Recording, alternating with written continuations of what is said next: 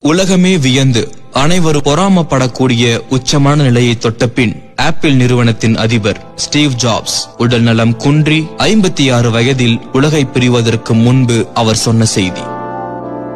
வர்த்தக உலகில் வெற்றியின் உச்சம் தொட்டேன். மற்றவர் பார்வையில் என் வாழ்க்கை வெற்றிக்கு உதாரணமாக காட்டப்பட்டது. நோயுற்று படுக்கையில் இருக்கும் இப்போது என் முழு வாழ்க்கையையும் நினைத்து பார்க்கிறேன். பெற்ற புகழும் செல்வமும் அதனால் அடைந்த பெருமையும் இப்போது எனக்கு அர்த்தமற்றதாக தோன்றுகிறது. உங்கள் காரை ஓட்ட யாரையாவது நியமிக்கலாம். உங்களுக்காக சம்பாதிக்க எத்தனை பேரை வேண்டுமானாலும் நியமிக்கலாம். ஆனால் உங்கள் நோயையும் அதனால் நீங்கள் சந்திக்கும் வழிகளையும் ஏற்றுக்கொள்ள யாரையும் நியமிக்க முடியாது.